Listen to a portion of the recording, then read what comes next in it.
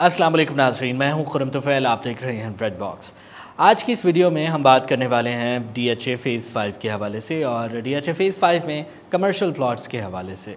आ, location क्या है उनकी और डी एच ए की तरफ़ से क्या बिल्डिंग प्लानिंग दी गई है और दीगर जो लोकेशन की अहमियत है जो सराउंडिंग एरिया है उसकी क्या तफसीलात हैं? ये तमाम तर सवाल हैं जो आप जिनके जवाब जानना चाहते हैं।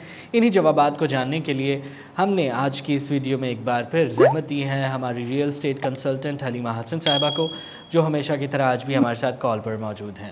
अस्सलाम वालेकुम हलीमा हसन साहिबा कैसी हैं आप? वालेकुम अस्सलाम मैं बिल्कुल ठीक आप कैसे हैं खुरम सम मैं बिल्कुल ठीक अल्हम्दुलिल्लाह। हलीमा हसन साहिबा बताइएगा कि D H A phase five में जो कमर्शियल प्लॉट्स हैं वो किन लोकेशंस पर अवेलेबल हैं? D H A phase five के अंदर जो कमर्शियल प्लॉट्स दिए गए हैं जो कि hundred and two hundred yard के कमर्शियल प्लॉट्स हैं। और अगर हम इसकी लोकेशंस की बात करते हैं जिसमें हमारे पास ख़याबान हाफिज़ है ख़याबान तंजीम है ख़याबान शमशीर है स्टेडियम कमर्शियल है और जो कि तोहद कमर्शियल है और इसमें जमजमा कमर्शियल के ऊपर D H A phase five के अंदर कुछ लोकेशन अवेलेबल हैं और इसकी अगर हम बात करते हैं जो कि hundred and two hundred square yard के ये प्लॉट्स दिए गए हैं और ये proper D H A phase five D H A का सबसे पुराना फ़ेज़ है और सबसे ज़्यादा डेवलप फ़ेज़ है। सही। अब ज़रा बताइएगा कि डी एच ए की तरफ़ से क्या बिल्डिंग प्लानिंग क्या दी गई है कमर्शियल प्लॉट्स के हवाले से? डीएचए फ़ेज़ फाइव के अंदर जो commercial plots 100 and 200 hundred square yard की building planning ground plus four की कंस्ट्रक्शन है।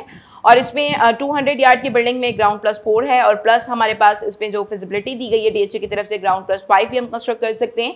और इसके अंदर जो है लिफ्ट की फैसिलिटीज़ दी गई हैं। अगर 400 गज का कमर्शियल प्लॉट है तो 400 स्क्वायर यार्ड के कमर्शियल प्लॉट के ऊपर ये फिजिबिलिटी जो कि दी गई है, जो कि तकरीबन सिलेक्टेड खयाबान के अंदर 400 गज के प्लॉट्स हैं।